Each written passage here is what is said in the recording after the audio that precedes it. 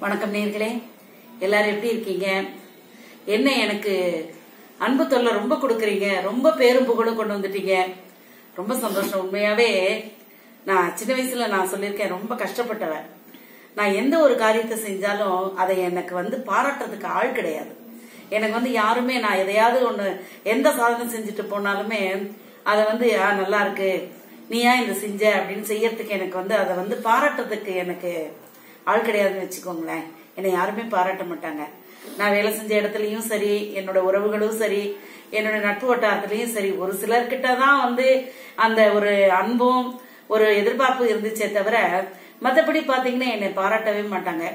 அப்படி இருக்கும்போது நாற்பத்தி ஓராயிரம் சப்ஸ்கிரைபர்ஸ் எனக்காக வந்து திடீர்னு எனக்கு ஒரு பேரும் புகழும் தந்ததுக்கு எல்லாருக்கும் ரொம்ப நன்றிமா நீங்க என்னுடைய முகம் தெரியாத இந்த உறவுகளை இந்த அறுபது வயசு தாண்டி நான் வந்து உண்மையாவே நான் ரொம்ப நேசிக்கிறேன்.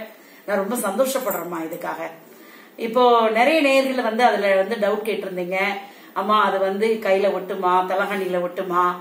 வந்து வந்து தொந்தரவா இருக்குமா? சைடு எஃபெக்ட்ஸ் ஏதாவது இருக்குமா? அது என்னம்மா பவுடர்னு நான் கேட்டு எல்லாரும் கேட்டிருந்தீங்க. நான் ஹெர்பல் ஹேர் ஆயில்னு ஒன்னு கொடுத்துருக்கேன் பாருங்கம்மா.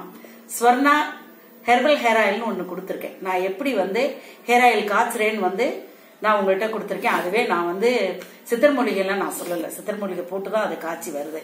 அதே மாதிரி டை பவுடரும் நான் உங்களுக்கு வந்து எப்படி செய்யணும்னு சொல்லியிருக்கேன். டை பவுடரும் பார்த்தீங்கன்னா நான் கொட்டாங்கச்சி எரிச்சி மாதுளத்தூள் போட்டு அதோட இன்னும் சில சித்தர் மூலிகை எல்லாம் போட்டு நான் வந்து இந்த டை பவுடரை ப்ரிப்பேர் பண்ணுறேன் பாருங்கள் நான் உங்கள்கிட்ட காட்டினேன் இல்லைங்களா? இந்த பாருங்கள் டை பவுடரு இந்த பாக்கெட்டில் தரேன். இந்த பாக்கெட் தான் இப்ப போகுது. இந்த ஹேர் ஆயிலும் இந்த இது ஸ்ரீ சொர்ணா ஹேர் ஆயில் இது சொர்ணா டை பவுடர் இதுக்கு நான் இப்போ ஒரு லேபிள் எல்லாம் ரெடி பண்ணி இதுக்கு ஒரு லைசன்ஸ் வாங்கி வெளிநாட்டுக்கும் அனுப்பிட்டு இருக்கேன் எல்லாமே செய்யறேன் இது பியூர் நேச்சுரல்மா நான் சொன்னேன் இல்லைங்களா உங்ககிட்ட எல்லாமே நான் காட்டினேன் பாருங்க. அதுலயே ஒரு சில பேர் கமெண்ட் பண்ணியிருந்தீங்க கையில தொடுறீங்களே ஒரு கிளவுஸை மாட்டிக்கிட்டு செய்யறதுக்கு என்ன? உங்களுக்கு இந்த நாகரிகம் கூட உங்களுக்கு தெரியாதா? இதெல்லாம் ஒரு வீடியோவா அப்படின்லாம் வந்து கமெண்ட் பண்ணியிருந்தீங்க. நான் என்ன சொல்றேமா முதல்ல என்னோட வயசுக்கு மரியாதை கொடுங்க. அதுக்கப்புறம் என்னோட அனுபவத்தை நீங்க கேளுங்க. இந்த பாருங்க. நான் ஏன் கையில தொடுறேன் அப்படின்னா கையில வந்து ஒரு குழந்தை எடுத்துருச்சு. இந்த டப்பா இந்த நீங்க பாக்கெட்டை மறந்து வச்சுட்டு போயிட்டீங்க. குழந்தை எடுத்துருச்சு. குழந்தை எடுத்து பிரிச்சு போட்டுடுச்சுன்னா குழந்தைக்கு ஏதாவது கையில எரிச்சல் வருமா? இல்ல ஏதாவது நமக்கு தொந்தரவு பண்ணுமா? அப்படிங்கிறதுக்காக தான் வந்து நான் உங்களுக்கு அதை கையில எடுத்து காட்டுறேன். இதை எப்படி பயன்படுத்தணும்னு எல்லாம் கேட்டிருந்தீங்க. நான் வந்து இதுல இதுல லேபிள் போடாம காட்டியிருக்கேம்மா. நான் லேபிள் போட்டு தான் எல்லாருக்குமே அனுப்புறேன். எல்லாருக்குமே அதாவது அடுத்த ஸ்டேட்டுக்கு ஒரு ரேட்டு நம்ம தமிழ்நாட்டுக்கு ஒரு ரேட் வச்சிருக்கேன். ஃபாரினுக்கு ஒரு ரேட் வச்சிருக்கேன். அதனால என்னுடைய வாட்ஸ்அப் நம்பர்ல ரொம்ப விரும்பி கேட்கறவங்களுக்கு மட்டும்தாம்மா நான் அனுப்புறேன். நான் இதை வியாபாரமா செய்யல. புரியுதாமா எல்லாருக்கும்? இதை வந்து நீங்க வந்து நினைக்கிறீங்க? நான் வந்து ஒரு பெரிய இதுல அதுல வந்து நல்ல பிசினஸ் அதெல்லாம் சொல்லியிருக்கீங்க. அந்த அந்த மாதிரி எனக்கு நேரமும் கிடையாது. அது மாதிரி நான் வந்து அதை என்ன நான் மனசெல்லாம் அதை பக்குவப்படுத்திக்கலமா நான் எப்பயுமே கொஞ்சம் பணத்துக்காகலாம் ஆசைப்படுறது இல்லை எப்பயுமே ஒரு எதிர்பார்ப்பே வச்சுக்கிறது இல்லை ஒரு சரி இருக்கட்டும். இந்த பிள்ளைங்க எல்லாரும் எதிர்பார்க்கறாங்களே டை அடிச்சுக்கிட்டு அப்படிங்கிறதுக்காக தான் நான் இதை செய்யறேன் இங்க பாருங்க. நான் என்ன பண்ணுவேன் அப்படின்னு கேட்டீங்கன்னா என்னுடைய தலைமுடி எவ்வளவு இவ்வளவு கருப்பா இருக்கு அப்படின்னு கேட்டீங்கன்னா நான் நேச்சுரல் டைன்னு ஒரு விஷயம் கொடுத்துருக்கேன் இல்லம்மா கசகசாவும் மருதாணியும் கலந்து நான் ஒரு வீடியோ போட்டிருக்கேன் பாருங்க. அதை வார வாரம் நான் செஞ்சுக்குவேம்மா. வார வாரம் செய்யும் போது என்னுடைய அறுபத்தோரு வயசுக்கு எனக்கு த நர வராம இருக்கிறதுக்கு காரணம் என்னன்னு கேட்டீங்கன்னா நான் அந்த டையை ஒரு தடவை போட்டுக்குவேன். அப்புறம் ஒரு நாளைக்கு செம்பருத்தி கரும்புலா அந்த டை அதெல்லாம் ஒரு நாளைக்கு போட்டுக்குவேன். அதெல்லாம் போட்டுக்கிட்டு தினமும் நான் என்ன பண்ணுவேன்னு கேட்டீங்கன்னா இந்த பாருங்கம்மா இவ்வளவுதான். இந்த இப்படி ட்ரெஸ்ஸிங் டேபிள் மேலேயே வச்சிருப்பேம்மா இந்த பவுடரை இந்த பாருங்க இந்த டிராப்பு இந்த இப்படி சும்மா என்னோட தலைக்கு நான் என்ன தடவுறதுக்கு? என்ன பாருங்க. இதோ இப்படி வருது இல்லைங்களா? இந்த மாதிரி இதை வர்றத நான் தினமும் தலையில தடவிடுவேம்மா. நான் தே- நான் எண்ணெய் வைக்காம இருக்க மாட்டேம்மா. நான் என்ன சொல்றேன்? எல்லாரும் எண்ணெய் வைங்கம்மா.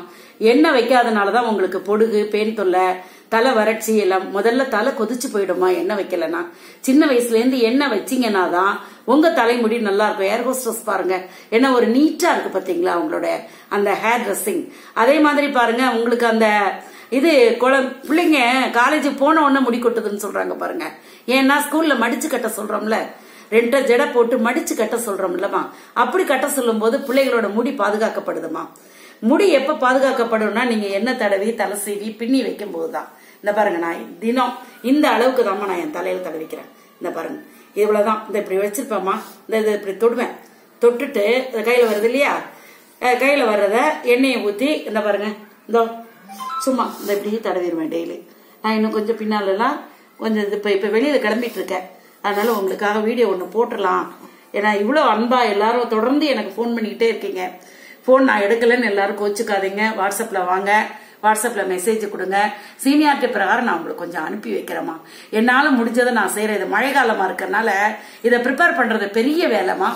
கொட்டாங்குச்சி மூட்டை மூட்டையை எரித்து அதை வந்து நான் வந்து பக்குவப்படுத்தி வெயில் இருந்தால் தான் நான் செய்ய முடியும். அதனால் நீங்கள் யாரும் கோச்சிக்காதீங்க. வாட்ஸ்அப்பில் எனக்கு மெசேஜ் அனுப்புங்க.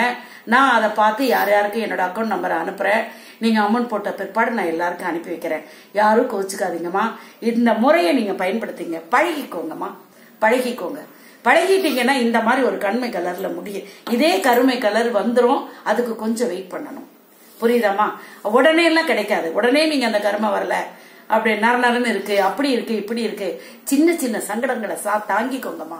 பத்து மாசம் ஆகுது இல்லாம ஒரு குழந்தை பெறதுக்கு ஒரு குழந்தை உடனே பிறந்துருதா? அதை நம்ம எவ்வளவு சிரமப்படுறோம்? அது மாதிரிதாம்மா. ஒவ்வொரு இயற்கையான முறையை நம்ம பின்பற்றுறதுக்கு நாம கொஞ்சம் கால அவகாசம் இருந்தாலும் மிகப்பெரிய நன்மை நமக்கு கிடைக்கும்.